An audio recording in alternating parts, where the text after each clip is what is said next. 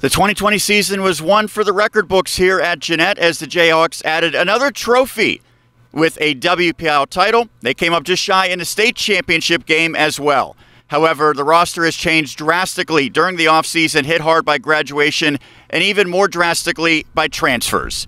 Now, Roy Hall, entering what could be his final season at the helm, will look to get his team back in contention.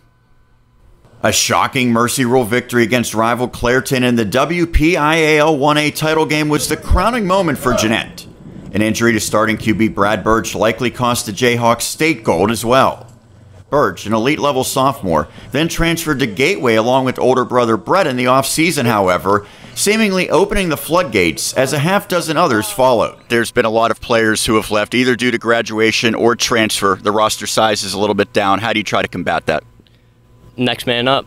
We put everyone who left, we put them in the past, and we push forward. Although Horn returns, less than a handful of starters are back, and Coach Roy Hall has needed to recruit band members to achieve a serviceable roster size. With many of those players completely new to the sport, patience has been required, but senior Justin Shank is confident in that bunch. So, how have some of the seniors or the coaches helped that transition process for the newcomers?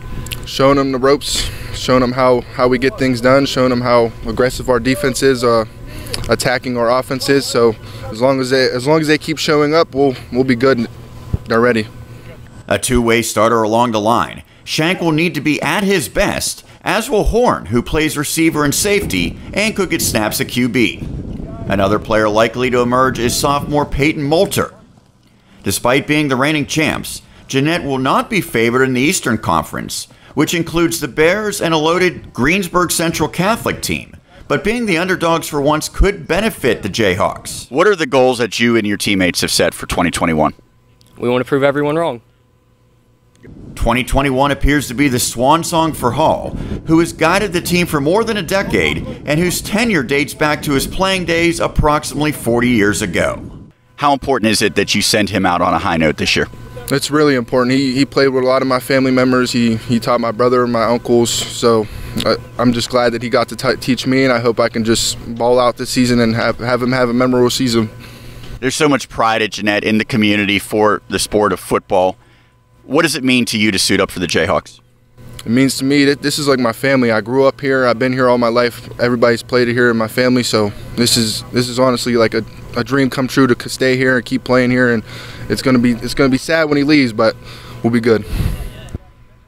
Many of the newcomers will get their first varsity action in a Week Zero matchup against East Allegheny. Jeannette will also play non-conference against Ligonier Valley and Sto-Rox before they begin the Eastern Conference action.